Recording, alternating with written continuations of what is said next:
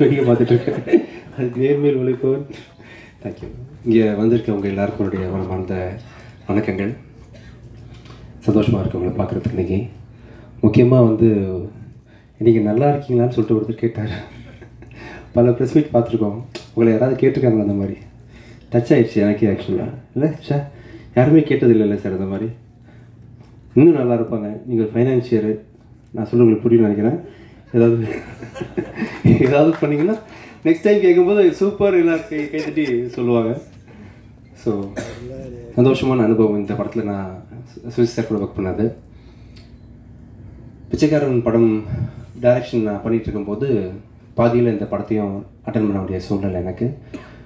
இந்த ஷூட்டிங்லேருந்து நிறைய கற்றுக்கிட்டேன் பிச்சைக்காரன் படம் டைரக்ட் பண்ணுறதுக்கு உங்கள் படத்தில் நடிச்சுக்கிட்ட நிறைய அனுபவங்கள் நீங்கள் ஷார்ட் டிவைட் பண்ணது அதெல்லாம் ரொம்ப உதவிச்சு சார் ரொம்ப நல்ல டியூனான ஒரு ரொம்ப ட- நல்ல டைரக்டர் ரொம்ப அருமையாக எந்த டென்ஷனும் ஆகாமல் ஆர்டிஸ்ட்டை ரொம்ப அழ அழகாக பூ போல் எடிட்டிங்கோட பாசிபிலிட்டி தெரிஞ்சு அழகாக படம் எடுத்தார். ஃப்ரேம் டு ஃப்ரேம் எந்த குவாலிட்டியும் காம்ப்ரமைஸ் பண்ணாமல் ரொம்ப நல்லா பண்ணீங்க சார் சந்தோஷமாக இருந்துச்சு கூட ஒர்க் பண்ணது.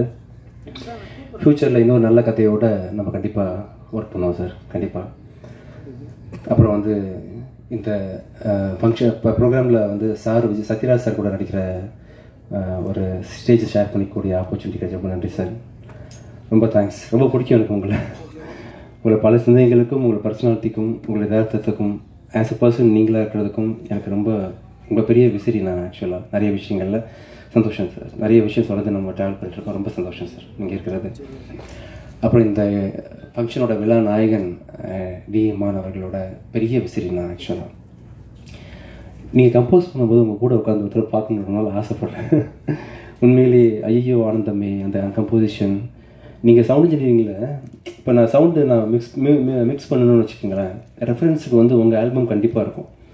நீங்கள் லோ மிட்டை ஹேண்டில் பண்ணுற விதம் இருக்குல்ல ரொம்ப பிடிக்கும். எங்கேருந்து அந்த லோ மிட் கரெக்டாக கொண்டு வராரு அப்படின்னு சொல்லிட்டு ரொம்ப யோசிப்பேன்.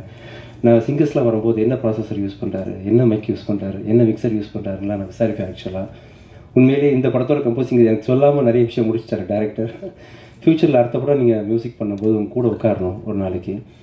நான் ரொம்ப ரெஸ்பெக்ட் பண்ணக்கூடிய வெல் ரியல் டேலண்ட்டோட நான்லாம் வந்து மியூசிக்கே தெரியாமல் மியூசிக் பண்ணிட்டேன் நிறைய படங்களுக்கு. மியூசிக் தெரிஞ்சு கிராமர் தெரிஞ்சு அந்த ஸ்ட்ரக்சரோடு நீங்கள் வந்து மியூசிக் பண்ணக்கூடிய வெரி ஃபியூ டேலண்ட்ஸில் நீங்கள் ஒருத்தர் உங்களுக்கு இன்னும் பெரிய நிறைய உயரங்கள் இருக்குது ஆக்சுவலாக ஒண்டர்ஃபுல் கம்போசிஷன் உங்களோட ஒர்க் ஒவ்வொன்றையும் நான் கவனிக்கிறேன் இன்க்ளூடிங் சவுண்டு நீங்கள் எப்படி பண்ணுறீங்க நீங்கள் தான் சவுண்ட் இன்ஜினியர் நீங்கள் தான் சவுண்ட் இன்ஜினியர் நீங்கள் தான் மாஸ்டரிங் பண்ணுறீங்கன்ற அளவுக்கு ஒரு பெரிய டெக்னாலஜி ஹேண்டில் பண்ணக்கூடிய ஒரு பெரிய சவுண்ட் டெக்னீஷியன் நீங்கள் இந்த படத்தில் ஃபஸ்ட்டு டைம் நீங்கள் மியூசிக் பண்ணுறது ஆக்சுவலாக நான் அதான் உங்கள் ஃபாதர் நல்லா இருக்கீங்களா சார் நீங்கள் அப்பா என்கிட்ட கேட்டாங்க நான் விஸ்காம் படிச்சிருந்தேன் லோயரா காலேஜில் நீங்கள் டுவெல்த்து முடிச்சிருந்தீங்க அப்போது இன்ஜினியர் இருக்கும்போது இமான் என்ன பண்ணலான்னு இருக்கேன்னு தெரில விஸ்காம் எப்படி எப்படி விசாரிச்சாரு. இல்லை சார் நீங்கள் அதில் கண்டினியூ பண்ணுங்கள் நீங்கள் விஸ்காம் நாங்கள் படிக்கிறோம் படிக்காமலே டேரெக்டாக ப்ராக்டிக்கலாக நீங்கள் ஒரு கீபோர்டிஸ்டாக இருக்காரு. நீங்கள் மியூசிக்லேயே போட்டிருக்கேன்னு சொல்லி சொன்னேன். பட் இவ்வளோ பெரிய உயரத்தை நீங்கள் ரீச் பண்ணுவீங்கன்றதை நான் எதிர்பார்க்கல. உங்கள் ரைட்ஸ் ஹைட்ஸ் நினச்சில ரொம்ப சந்தோஷப்படுறேன். ரொம்ப சந்தோஷம். விவேகா சார் முளைச்சி மூணு இலையோடில் நிறைய பாட்டு நம்ம மியூசிக் டேரக்டர் இருக்கும்போது தொடர்பில் இருந்தோம். ஆக்ட் பண்ண வந்து இப்போ பெரிய கேப் உண்டாயிருச்சு. நான் மியூசிக் பண்ணுறதை குறைச்சிட்டேன்றதுனால கண்டிப்பாக நம்ம ஏதாவது நம்ம என்ன பண்ணாலும் ஃப்யூச்சரில் சேர்ந்து நிறைய பயணம் பண்ணுவோம் சார். என்னோட முதல் படத்தோட ஃபைட் மாஸ்டர் ராஜசேகர் சார். அன்னையிலேருந்து இன்றைக்கி கப்பிச்சிக்காரன் டூ வரைக்கும் நம்ம ட்ராவல் தொடருது. சந்தோஷம் சார் இந்த படத்தை ஒர்க் பண்ணது. ராதிகா நல்ல talented sensible costume designer from London அதனால் நல்ல நிறைய படங்கள் நீங்கள் இப்போ தான் சொல்கிறாங்க சரி இந்த டிஎஸ்பிலாம் கேட்கும்போது இத்தனை படங்கள் பண்ணிட்டீங்களா அப்படின்ற மாதிரி எனக்கு சந்தோஷமாக இருக்கும்னு நினச்சா இன்னும் நிறைய ஜேர்னி நீங்கள் கண்டிப்பாக பண்ணணும். படத்தோட தயாரிப்பாளர் சுசீந்தர் சாரோட ஃபாதர் உங்களை பற்றி நிறைய விஷயம் சார் சொல்லியிருக்காரு சார் ஆக்சுவலாக ரொம்ப கஷ்டப்பட்டு ரெண்டு பசங்களையும் நீங்கள் வளர்த்துருக்கீங்க நிறைய விஷயங்களை கடந்திருக்கீங்க. உங்களுக்கான நிறைய விஷயங்களை பார்த்துருக்கு வாழ்க்கையில். உங்கள் பே உங்கள் ஜேர்னிக்கு பெரிய salute sir thank you so much and கதையாசிரியர் க டயலாக் ரைட்டர் உங்களுக்கும் என்னுடைய மனமார்ந்த வாழ்த்துக்கள். இந்த என்டையர் டீமுக்கு என்னுடைய மனமார்ந்த வாழ்த்துக்கள் தெரிவிச்சுக்கிறேன். இந்த படம் கூடி சீக்கிரம் ரிலீஸ் ஆகும்போது நீங்கள் தேட்டரில் பாருங்கள் thank you so much thank you thank you sir அடுத்து நாம் பேச அழைக்கிறோம் தகடு தகடு வார்த்தைகளைக் கொண்டு தமிழ் சினிமாவில் சடுகுடு விளையாடியவர். எத்தனை பெரிய உயரம் கொண்ட நடிகர் நீங்கள்? அத்தனை பெரிய வெற்றியை கண்டவரும் நீங்கள். நாற்பது ஆண்டுகால திரையுலக வாழ்க்கையில் தன்மானம் ஒன்றே என் தனி சாம்ராஜ்யம் என்று சாமானியனுக்கும் சொன்னவர். வில்லன் மொழி பேசி அடித்து நொறுக்கி கதாநாயகனாக உயர்ந்த காலம் ஒரு கணம். அன்றும் இன்றும் அரசியலில் ஒரு ஆத்திச்சூடியாய் இருக்கிறது அந்த அம்மாவாசை ரோல். வில்லாதி வில்லனாக வால்டர் வெற்றிவேலாக என்றும் எப்போதும் வாழ்ந்து வரும் நடிகர் சத்யராஜ் அவர்களை உங்கள் முன் பேச அழைக்கிறோம்.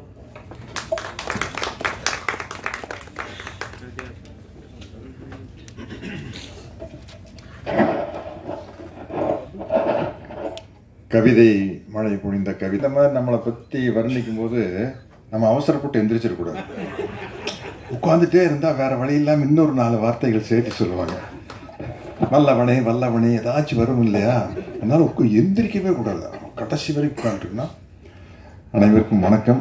பத்திரிகை நண்பர்களுக்கும் ஊடக நண்பர்களுக்கும் என்னுடைய வணக்கம். ரெண்டு ஒன்று தாங்கிறீங்களா சாரி அங்கே பாரு தேவி மணியன் உட்காந்து நீங்கள் முதல்ல டை அடிங்கண்ணா அடையாளம் தெரிய மாட்டேங்குது. தெரிய மாட்டேங்குது பாருங்க. இந்த சேட்டைகளை வச்சு தான் கண்டுபிடிச்சேன் உங்களை. ஆ. சரி. இந்த நிறையா படங்கள் வந்து சினிமாவில் நடிக்கையில் நம்மளுடைய கொள்கை கோட்பாடுகளை உள்ளே கொண்டு வந்து நடிக்க முடியாது. நடிப்பது தொழில் அப்படின்ட்டு தான் போக முடியும். சில படங்கள் அத்தி பூத்த மாதிரி அந்த கொள்கைகளோடு சேர்ந்த ஒரு கதாபாத்திரம் கிடைக்கும். அப்படி கிடைச்ச கதாபாத்திரம் தான் இந்த வள்ளிமயில் படத்தினுடைய கதாபாத்திரம். சுசீந்திர சார் ரொம்ப நன்றி. அதை உணர்வுபூர்வமாக நீங்கள் எடுத்துகிட்டு வந்தது வந்து எனக்கு ரொம்ப மகிழ்ச்சி. ஏன்னா அந்த அந்த உணர்வு அந்த கொள்கை கோட்பாடுகள் உங்களுக்குள்ளே இருக்குது அதனால தான் அதை நீங்கள் வெளியில் கொண்டு வந்திருக்கீங்க அப்படிங்கிறது என்னால் உணர முடியுது. பல விதமான க சப்ஜெக்டுகளை தொட்டார் சுசீந்திரன் சார். நான் மகானல்ல க கார்த்தி படத்துலேருந்து பார்க்குறேன். இந்த கபடியை பேஸாக வச்சு பண்ண வெண்ணிலா கபடி கொடு ஜீவா எல்லாமே வந்து பல வித்தியாசமான கதைகளை தொட்டிருக்காரு. இன்னொரு கதை எங்கிட்ட சொல்லி வச்சுருக்காரு. அது ரொம்ப அற்புதமான கதை. அதை பண்ணோம் அந்த ஒரு சின்ன நெகட்டிவ் டச்சோட ஒரு கேரக்டர் சுசீந்தர் சார். ரொம்ப எக்ஸ்ட்ரானரி ஃபில்ம் அந்த கதை வந்து நல்லவன் கெட்டவன் இல்லை. எல்லாமே வந்து ஒரு கிரே ஷேட் அப்படிங்கிற மாதிரியான ஒரு கேரக்டர் அந்த கதை. நிச்சயமாக அது ஒரு பொண்ணான்னா மிகப்பெரிய அளவில் இருக்கும் அப்படிங்கிற ஒரு நம்பிக்கை இருக்குது. நான் இந்த இது வந்து ரெண்டாவது படம். விஜய் ஆண்டனி சார் ஒன்று நடிக்கிற ரெண்டாவது படம். இதுக்கு முன்னாடி காக்கின்னு ஒரு படம் நடிச்சிட்டு இருந்தேன் இப்போ வள்ளிமயில். ரொம்ப தெளிவான சிந்தனையாளர். வாத்தியார் பாட்டுக்கு பாருங்க. உன்னை எறிந்தால் நீ உன்னை எறிந்தால் உலகத்தில் போராடலாம். உயர்ந்தாலும் தாழ்ந்தாலும் தலை வணங்காமல் நீ வாழலாம் அப்படிங்கிற பாட்டுக்கு ஒரு ஒரு ஆக்சுவலாக ஒரு உதாரணமாக இருக்கார் விஜய் ஆண்டனி. சார் கிளியராக அவரை பற்றி தெரிஞ்சு வச்சுருக்காரு. இதை பற்றி நானும் விஜய் ஆண்டனி வந்து ஷூட்டிங் நடுவில் நிறைய விஷயம் டிஸ்கஸ் பண்ணிக்கிறோம். ரொம்ப தெளிவான சிந்தனைக்கு சொந்தக்காரர். அவருடைய ப்ளஸ் என்ன மைனஸ் என்ன? இங்கே அவர் மேடையில் சொன்னதுனால நானும் தைரியமாக சொல்லுவேன். என்கிட்ட சொல்கிறார் சார் எனக்கு மியூசிக் தெரியாது சார் மியூசிக் தெரியாமையே நம்ம மியூசிக் பண்ணலாம் சார் அப்படின்னாரு. அதை அவர் இங்கேயே சொல்லிட்டார். இமானை பற்றி பேசும்போது அவர் இங்கேயே அதை குறிப்பிட்டு சொன்னார். ஏன்னா இன்றைக்கி வந்து அந்த ஒருங்கிணைப்பது தான் ஒரு முக்கியமான வேலை அப்படிங்கிற மாதிரி ஆயிடுச்சு சினிமாவில் வந்து சில சமயத்தில் வந்து திறமைகளை ஒருங்கிணைத்தல் அப்படிங்கிற மாதிரி ஆயிடுச்சு இன்றைக்கி அதுதான் வந்து மிகப்பெரிய பட்ஜெட் படங்கள்லாம் அப்படி ஒருங்கிணைத்து பண்ணப்படுவது தான் இந்த வள்ளி மயில் வந்து ஒரு பூவுக்குள் பூகம்பம் மாதிரி ஒரு சாஃப்டான டைட்டில் வள்ளி மயில் அப்படின்னு ட்ரெய்லரை பார்த்தா அடி. இந்த படத்துக்கு என்ன ஏதாச்சும் இடி மின்னல்னு டைட்டில் வச்சிருக்கலாம்ங்கிற அளவுக்கு ஒரு ட- ஒரு ட்ரெய்லர் ஆனால் படத்துக்கு வந்து ஒரு சாஃப்டான டைட்டில் வள்ளி மயில் அப்படின்னு கதாநாயகி பேரில் இருக்குது. அதை ஏற்றுக்கிட்ட விஜய் ஆண்டனி அவர்களுக்கு நான் என்னுடைய நன்றியை சொல்லிக்கிறேன். ஏன்னா வந்து எல்லா கதாநாயகர்களுக்கும் அது ஒரு சின்ன ஈகோ இருக்கும். நானும் கூட ஹீரோயின் டைட்டில் ஒரு படம் நடிக்கல திருமதி பழனிசாமின்ற டைட்டில் வெறும் சுகன்யா பேரில் படம் எடுக்கலாம்ல? ஆஹா, திருமதி பழனிசாமி நம்ம மாஸ்டர் தான் அதில் ஒர்க் பண்ணியிருக்காரு. ராஜசேகர் மாஸ்டர்லாம் அதில் ஒர்க் பண்ணிக்கிட்டாரு. திருமதி பழனி அது ஆனந்தவுடன் பத்திரிகையிலையும் கூட எழுதுனாங்க. ஒரு பெண்ணியல் பெண்ணியலாளர் வந்து எழுதியிருந்தாங்க. ஏன் அந்த கதாநாயகின்னு ஒரு பேர் இருக்கும்ல அந்த பேரை வைக்கக்கூடாது. அது என்ன அப்படி ஒரு ஆணாதிக்க மனப்பான்மை திருமதி பழனிசாமின்னு பேர் வைக்கிறது அப்படின்னு கேட்டு எழுதியிருந்தாங்க. இது அந்த காலத்தில் வந்து சகஜமாக நடந்தது. இப்போ ஒரு ஒரு இருக்கிறதுலே வெரி சக்ஸஸ்ஃபுல் ஹீரோ அப்படின்னா வந்து புரட்சி தலைவர் எம்ஜிஆர் அவர்கள் தான் அவருடைய படங்கள் பார்த்தீங்கன்னா அவர் வளர்ந்து வரல வர்ற வர்ற காலகட்டத்தில் மருதநாட்டு இளவரசி மந்திரிகுமாரி மகாதேவி இப்படி டைட்டில் வந்தது. தாய் சூளை தட்டாதே தாயை காத்து தனையன் சத்யாமேஷ் படத்துக்கு பேர் தெய்வத்தாய் தான். யார் பேரில் இருக்க டைட்டில் டைட்டில்னா ஹீரோயின் பேர்லையும் கூட இல்லை. தலைவரோட அம்மாவாக நடித்த பண்டிரிபாய் அம்மா பேரில் இருக்கிற டைட்டில் தெய்வத்தாய் அப்படின்ட்டு. சரி இதே வேறு தயாரிப்பாளர்கள் ஓகே வேறு இயக்குனர்கள் ஓகே தான் எடுத்த எம்ஜிஆர் பிக்சர்ஸ் படத்துக்கு பேர் அடிமை பெண். அதுக்கப்புறம் ரொம்ப நாளைக்கு அப்புறம் ஹீரோயின் பேரில் வந்த ஒரு ஒரு பெரிய ஒரு இப்போ ஒரு பெரிய ஹீரோ படையதுன்னா சந்திரமுகி தான். ஒரு அவர் ரஜினி சார் சூப்பர் ஸ்டார் இருந்தாலும் கூட டைட்டில் வந்து ஜோதிகா மேடத்து பேரில் இருக்கும். அப்படி வந்து அப்படி ஒரு அடம் பிடிக்கும் கதாநாயகர்கள் இருக்கிறாங்க. ஒரு ஹீரோயின் பேரில் இருக்கிற படத்தில் நான் ஏன் போய் நடிக்கணும் அது இது ஒரு ஆக்ஷன் ஃபிலிம் தானே. என் பேரில் இருக்கலாம்ல அப்படின்னு விஜய் ஆண்டனி நினச்சிருக்கலாம். அப்படி இல்லாமல் பெருந்தன்மையாக வந்து அவர் இந்த டைட்டில் நடிச்சது பெரிய விஷயம். ஏன்னா நானும் வந்து ஒரு நூறு படத்தில் ஹீரோவாக நடிச்சிருக்கிறேன். அந்த ஈகோ என்னன்னு எனக்கும் தெரியும். அதனால் வந்து டைட்டில் வந்து இந்த இந்த டைட்டிலில் ஒரு ஆக்ஷன் ஃபிலிம் எடுக்க எடுக்க முடியும் அப்படின்னு நிரூபிச்சிருக்காரு சுசீந்திரன் சார் அவர்கள். இமான் அவர்களை பற்றி சொல்லிட்டே போல அவர் சிபியோட கிளாஸ்மேட் அவர் நிறைய படம் வருத்தப்படாத வாலிபர் சங்கம் மாதிரி சூப்பர் ஹிட் பா பாட்டு பாடல்கள் கொடு- கொடுத்த படத்தில் நானும் நடிச்சிருக்கேன். அந்த பாடல் வரிகளில் நடிக்க முடியல. மேபி ஏதாச்சும் நடிச்சிருக்கலாம். எனக்கு டக்குன்னு ஞாபகம் வரல. அவரை பற்றி ஒரு விஷயம் சொல்லணும். நம்ம புகழேந்தி சார் டைரக்டர் வந்து உச்சிதனை முகர்ந்தால் அப்படின்னு ஒரு படம் எடுத்தார். அது என்னென்னா தமிழ் ஈழத்தைச் சேர்ந்த ஒரு பெண் அங்கிருந்து வந்துடுறாங்க. அப்போ தான் ஒரு பதினஞ்சு வயசு பொண்ணு.